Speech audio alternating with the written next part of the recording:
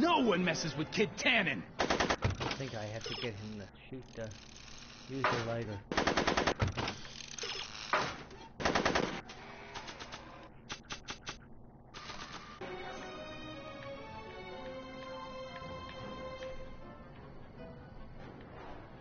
Hey, kid.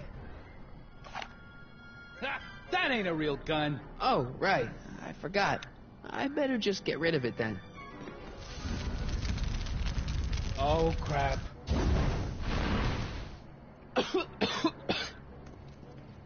Hey, he's getting away! Oh no.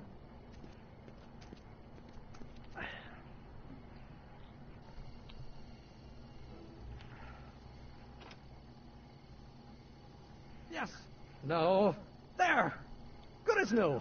Oh, look. Tannen? The judge's son. All right, Parker. I want a getaway car and a clear road to Nevada, or the brown kid gets it. Doc! Marty. Doc? Yes, it's me. I'm talking to you through the radio apparatus my youngest self has installed in the rocket car. What's going on up there? It's not good, Doc. Trixie and Parker did their part, but now Kid's holding you hostage. Great Scott! No kidding. Try to get Kid in the car. Once he's inside, give me a signal, and I'll do the rest. How am I... You! Emmett! You're the cause of all of this, ain't you? Should have known. What kind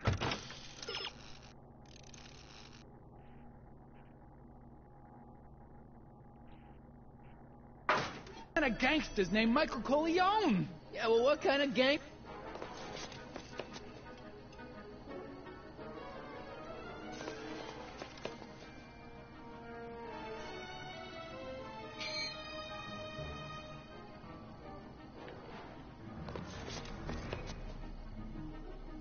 one makes a fool out of me.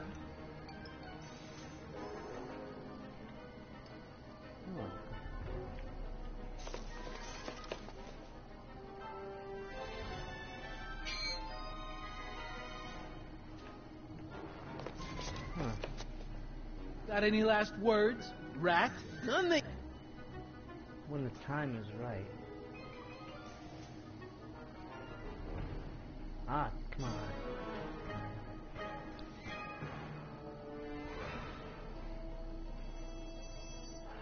Get ready to be tannenized.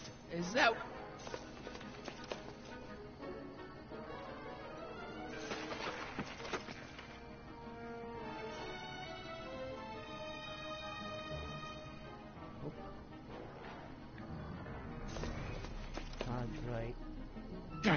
Come on, bring...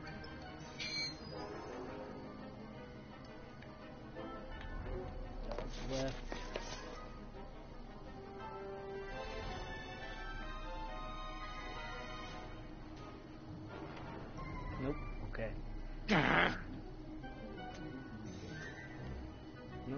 Michael, use way the harness hay. I know that.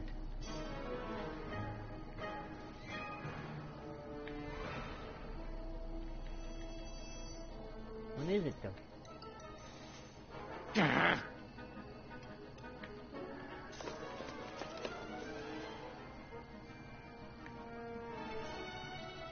There we go. Doc, hit it!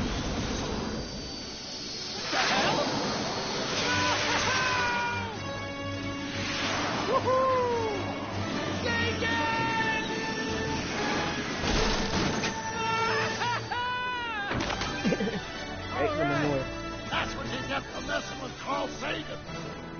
Irving Tannen, I'm placing you under arrest for kidnapping, attempted murder, tax evasion, and smelling like a piece of crap. Tax evasion? Haven't you heard? The feds are practically drooling over Trixie's books. Trixie? That's what you get for killing Artie, you bastard! What? I didn't. Trixie? Artie?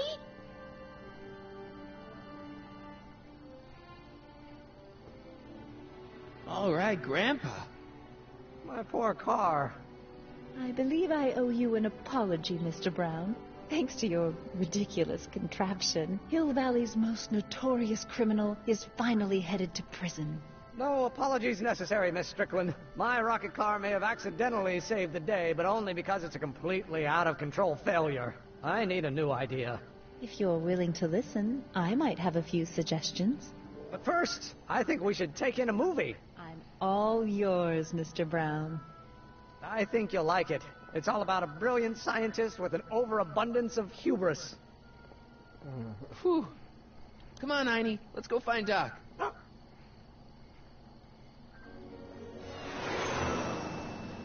Thanks for letting me fly the DeLorean, Doc. This thing's a blast. Are you absolutely sure that everything's back to normal? Totally. Kid's going to jail, Emmett's going to see Frankenstein, and there's no such thing as a Tannen crime family in 1986. And we remembered Einstein this time, too. Hill Valley crime rate at all-time low. Hmm. Well, except for Grandpa necking with Trixie, I think we're ready to go back to 1986. Do you feel yourself fading out of existence? No. Then as long as your father's still born in seven years, I say, let your grandfather sow his oats. Sowing oats. Is that what's going on with you and Edna? What are you talking about? Emmett and Edna. They're gonna go see Frankenstein together. That's odd. Uh-oh.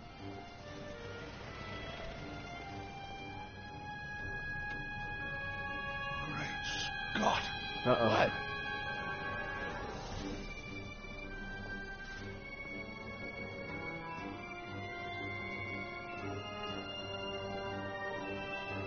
Uh-oh.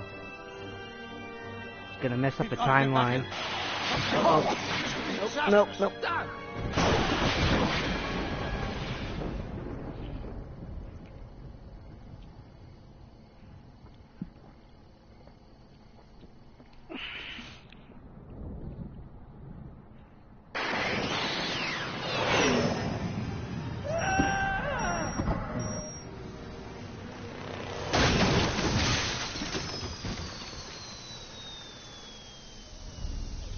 Where'd you go, Doc? Gah! We've got everything under control. Doc? Well,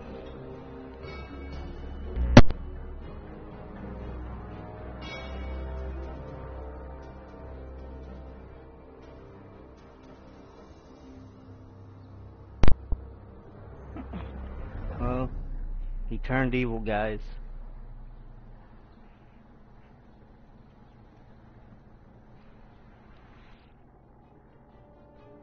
In the next Martin episode. McFly, age 18. Okay, Doc, let's see what kind of nightmare alternate timeline I've landed in this time. Father George, Mother Lorraine. Hill Valley under Citizen Brown is not quite the contented town you were led to believe it was. A re-education program? What the hell? Please don't swear, Martin. It makes me uncomfortable. Zero demerits until this morning. We're through, McFly. I'll never date such a square again. My own girlfriend thinks I'm a square? The obvious question, Mr. McFly, is what happened to you? Jesus Christ, Doc, what happened to you?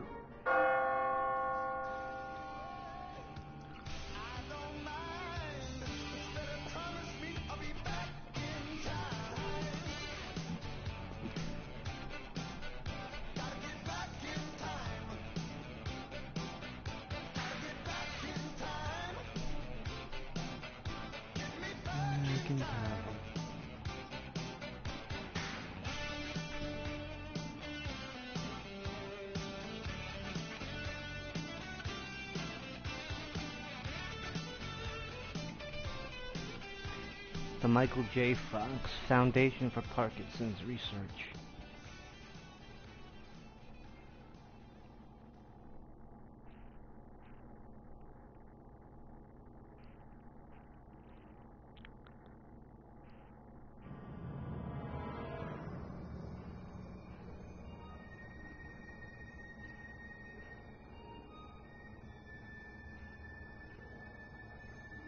We're not in 1931 anymore, guys.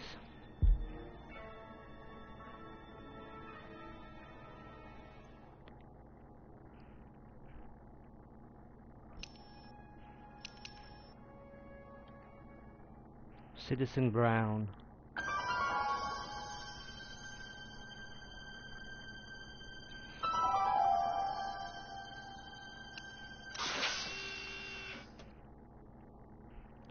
Yeah, show goals. Play a couple more minutes of this and then move on to a different game.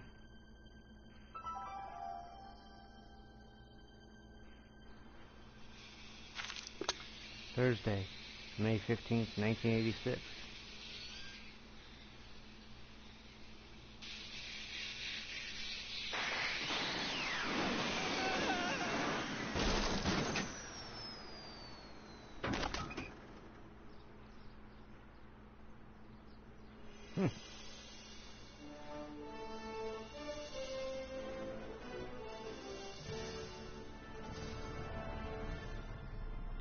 Episode 3 Citizen Brown.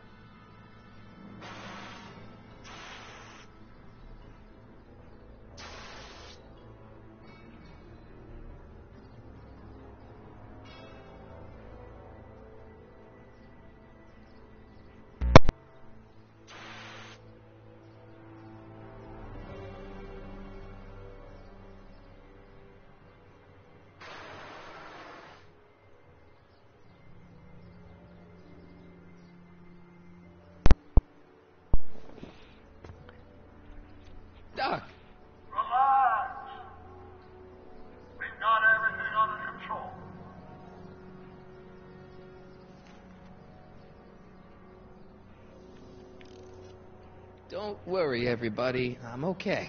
The billboard broke my fall. It's jammed.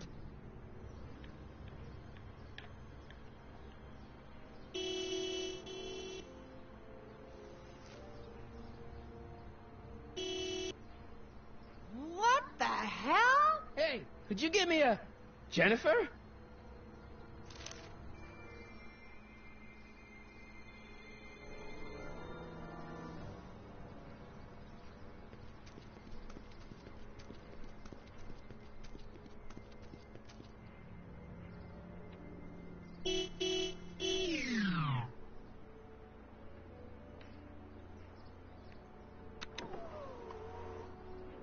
This is the dumbest design ever.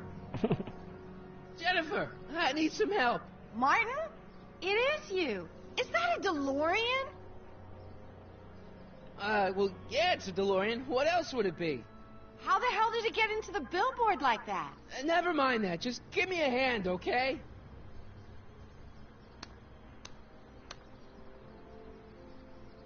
So who are you supposed to be? Luke or Bo? This isn't funny, Jennifer.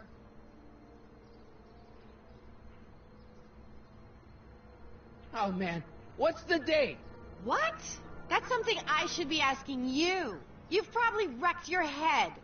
Just what's the date, Jennifer? It's the 15th, The year. 1986. Duh. Oh, man. Oh, man. This can't be happening. Can you help me down? Why don't you just jump? I'll break my neck. And The door's jammed. Can you get it open? I can't reach it. Besides, I'm not climbing under the car. It could come down on my head.